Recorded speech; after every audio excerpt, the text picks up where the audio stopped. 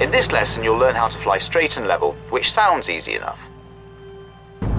The secret is configuring the aircraft to fly hands-off at different speeds. I'll teach you how to do that, and by the time we're done you'll be superb. At least that's the plan. Okay, you have control. Go ahead and push the throttle all the way forward so we speed up. Good. See how the nose wants to rise as the aircraft gains speed. Push forward on the stick to keep the nose down so you maintain 1,000 feet. Here's the secret. You can use trim to relieve that forward stick pressure. Slowly trim the nose down so you can maintain 1,000 feet without having to push the stick. The trim control sets the elevator position of the aircraft to maintain the desired pitch for a particular speed.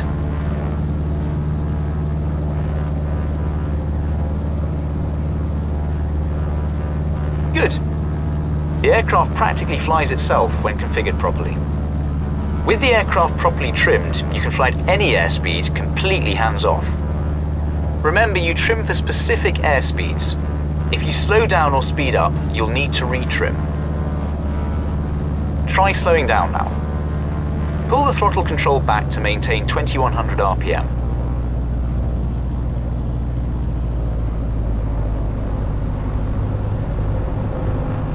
Good. See how the nose wants to drop as the aircraft slows down. Use the stick to hold the nose up, then trim to relieve the pressure. Keep adjusting the trim until the aircraft flies level at 1,000 feet and 90 miles per hour.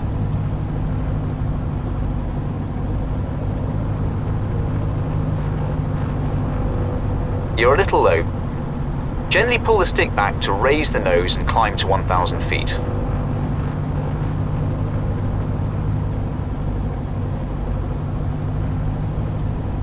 Set the throttle to maintain 2100 RPM. You need to reach a constant speed to trim.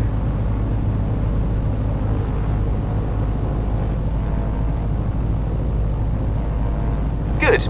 Keep trimming up until the airspeed settles and the nose stays where you want it.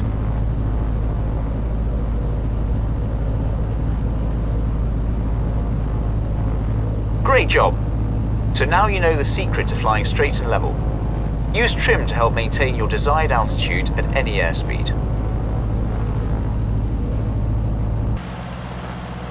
Professional pilots always trim, because a trimmed aircraft is much easier to fly.